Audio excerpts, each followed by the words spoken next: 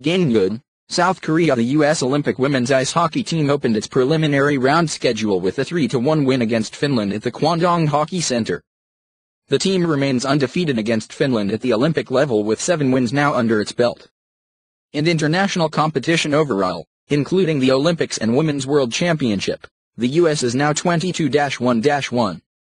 The two teams met in the preliminary round of the Olympic Winter Games Sochi 2014, as well where Team USA also earned a 3-1 victory. Finland was the first on the board with just 5.8 seconds left in the first period after a goal by Venla Lahti, assisted by Linda Valimaki and Petra Nieminen. Team USA tied it up with 11.02 left in the second period with the goal by now three-time Olympian Monique Lamoureux Morando, assisted by her sister Jocelyn Lamoureux Davidson and teammate Kelly Pannek. Less than three minutes later, Team USA's Kendall Coyne's power play goal brought the score to 2-1.